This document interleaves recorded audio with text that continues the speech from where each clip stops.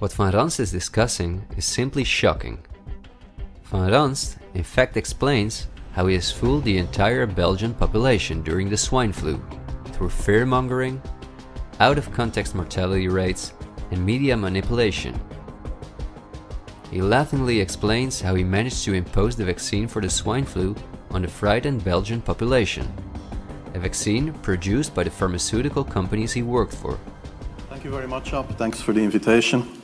And I was asked to, to tell you about my experiences being the, the crisis manager, the flu commissioner for, for Belgium, and, and, and highlighting the communication. Uh, and then you have one opportunity to do it right. I mean, day one is so important. Uh, in day one, you start your communication with the press, with the people, and, uh, and you have to do it right. I mean, you have to go for one voice, one message. In Belgium, they chose to uh, appoint a non-politician to do that. I mean, I have no party affiliations, and that makes things a little bit, at that time at least, a little bit easier because you're not, you're not attacked politically, majority, minority. Uh, that doesn't come into play, and that was a huge advantage. The second advantage is that you can play in Brussels the complete naive guy and, uh, and get a lot more done than you would otherwise be, uh, be able to do.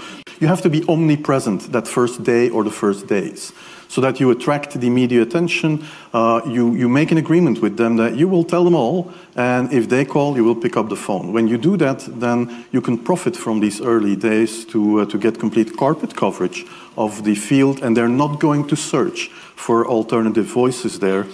And if you do that, that makes things uh, a lot easier. These first weeks, that's easy street when you have no opposition and, and everybody needs news and they can come to you for news, you can bring quite a lot of neutral information and it is picked up and, uh, and it, is, it is, well, the news is brought the way you bring it and that is, uh, you can only do that in the, uh, the first couple of weeks or months. And then you have to say, okay, well, we will have H1N1 deaths. Of course, that would be unavoidable. Uh, I used there Sir Donaldson's uh, quote where he said that in the UK, by the peak of the epidemic, 40 people would die uh, per day uh, at the end of the summer. Uh, so 62 at that time million people in UK, 40 deaths a day. I worked it out for Belgium. That would be seven deaths a day at the peak of the epidemic. I used that in the media. Seven Belgian flu uh, deaths per, uh, per day at the peak of the epidemic would be realistic that is true in every year, even interpandemically. That, that is very, very conservative.